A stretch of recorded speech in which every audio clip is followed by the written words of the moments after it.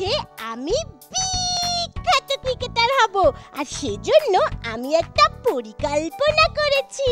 পরিকল্পনা মতো নিয়মিত মাঠে গিয়ে অনুশীলন করছি। ক্রিকেট নিয়ে মজার মজার বই পড়ছি, পুষ্টিকর খাবার খাচ্ছি ঠিক মতো ঘুমাচ্ছি, আর এভাবে আমি একদিন বড় ক্রিকেটার হয়ে যাব।